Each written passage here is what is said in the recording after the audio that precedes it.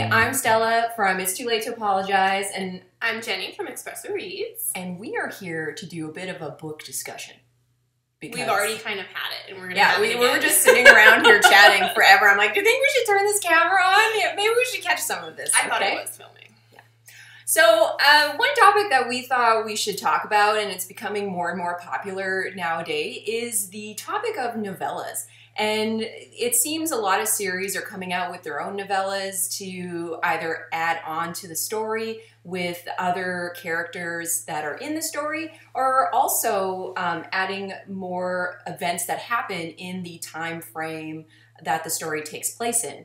So, I, most of the novellas that I've seen are about other supporting characters that um, are in the stories. Right.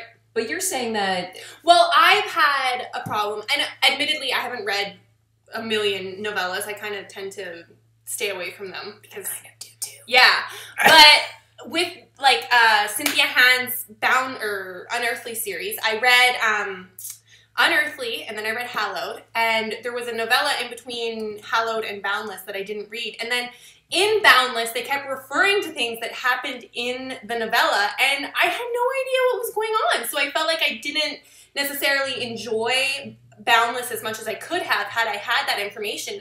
And I don't think not reading a novella should make you suffer when you read the consecutive books in the series. It made me really upset. I don't know, because I think that's like a novella done wrong. Because a Yeah. novella is, it, it should just be there for more information if you wanted to know more or anything. Because then it should just Right. be a book in the series if you need that information. And then they're going to have all these inside jokes that like Right. you don't know about or, or anything. I, Right. that's not good. No, it really, really irritated me. Yeah. But I will say that I do like the idea because there are a lot of books that I read and I'm like, oh, I really like the best friend. I want to know more about the best friend. And now with these novellas that are exploring the secondary characters more, you get that. Yeah, I, I totally agree because I know that there was a novella released for the Delirium series, and I know one of the stories is from Raven's um, point of view, and I loved Raven. Like, I wanted more Raven. See, and I Give just found out that there was one from Alex's point of view, and I'm like, oh my god, I need to read it.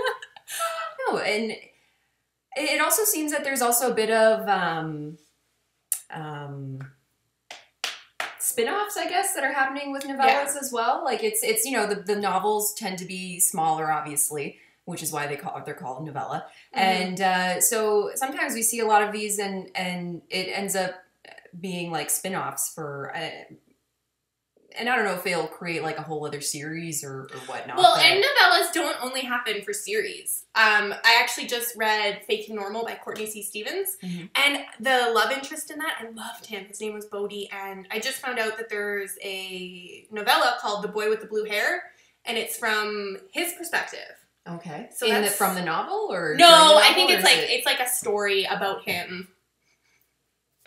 I don't read synopsises. I all I know is it's about Bodee. And you want it. yes. um, but yeah, so it's not only series that they do these novellas for, and then I think that's pretty cool. And then Katie McGarry's series kind of she made the whole series kind of like novellas and then extrapolated on them because each book is from a different character's perspective that you meet in the previous book hmm which people love, and I am totally left out of this pushing the limits love because I really didn't like the first book, and I know you guys are all probably throwing shit at your screen right now, but I didn't like it. I'm sorry.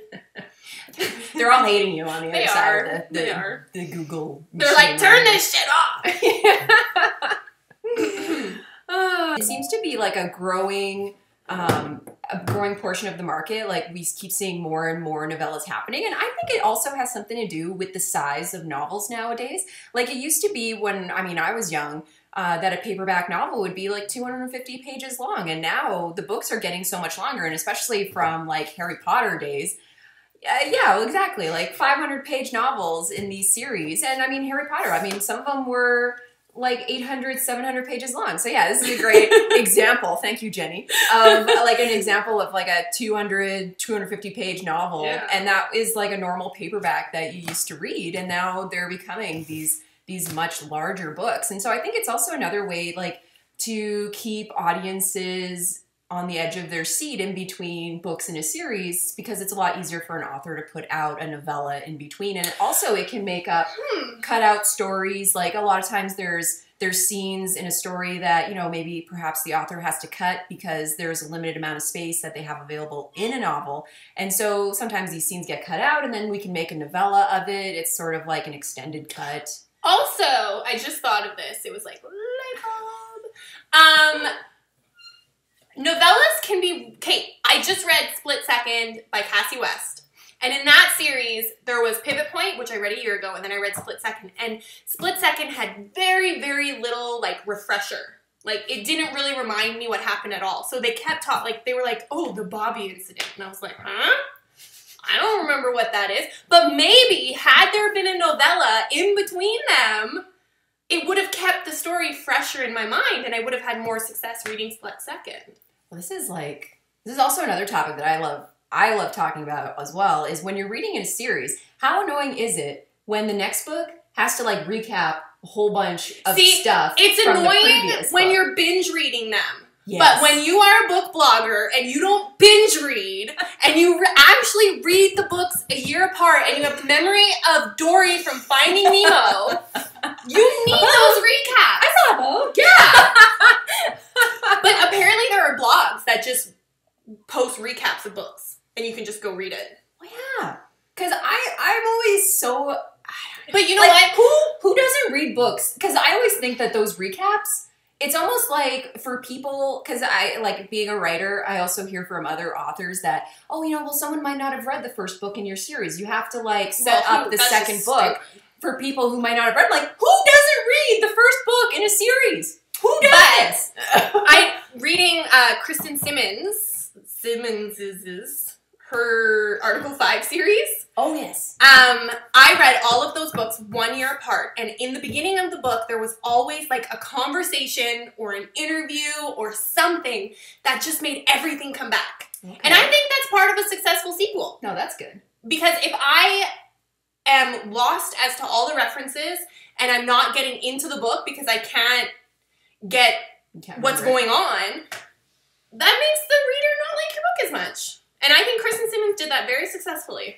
So she, it was just like like an epilogue sort of thing. No, Or- like it was just Oh, in the just- story. There would be a conversation that happened between like Chase and Ember, or there was one where someone was interviewing her in the beginning of three, I think, and it just brought everything back. Hmm. And I think that's a good tool That's to use one. in a series.